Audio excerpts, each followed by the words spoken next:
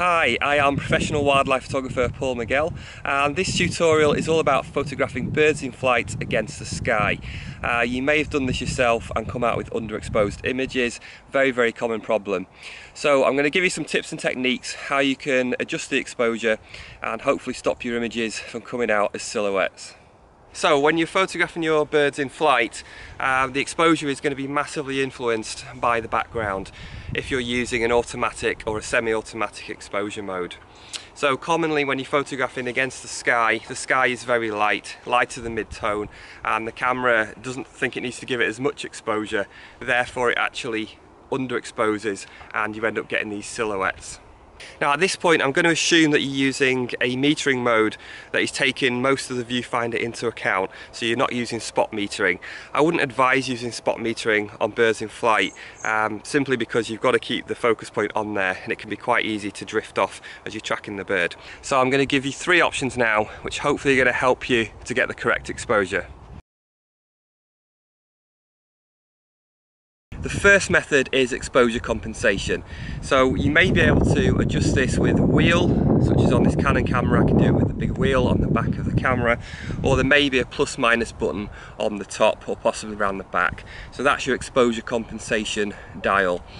And when you know that the bird's going to fly against the light sky, you want to adjust that in the plus direction. So it really depends on a number of factors how much plus compensation you need to do, but probably anywhere from plus two thirds, maybe even to plus two at the extreme range.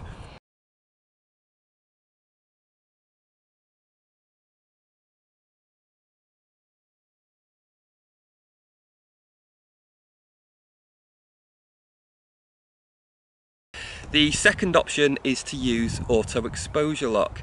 Um, this is another button often on the back of the camera which is probably AEL. On this Canon it's got an asterisk.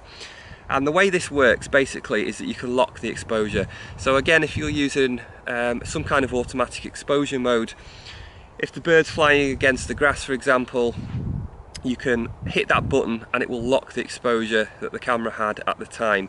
Then if the bird goes up against the sky or anywhere else, that exposure won't change.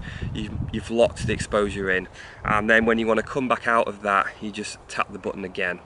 Um, so I think that's a really good option really. Again, it really relies on you knowing that this problem might occur and just being aware of it. But if you're able to think ahead that the exposure may suddenly become a problem, then you can just hit this button and the exposure is locked in. And the third option is just to use manual exposure. So rather than using an automatic exposure mode and leaving some of that up to the camera, just take control of it yourself and use manual settings. So take a reading off a neutral tone, such as the green grass or a deep blue sky. Set your shutter speed and aperture as you want them for the flight shots and then what happens wherever the bird flies whatever the background behind it it's not going to influence it at all because you've locked that exposure in completely and nothing's going to change. So that's a really good option particularly if the light's consistent. Um, if the light isn't going to change you can just set the camera manually and as long as the bird is being lit in the same way then the exposure is going to be accurate every time One thing worth noting is if you're dealing with blue skies, the whole sky is not actually of the same exposure value. So if you're shooting towards the horizon, the lower part of the sky, it's actually going to be much lighter than if you're shooting almost directly up against that really deep blue. So you're going to get different exposure values depending on where you're actually shooting towards.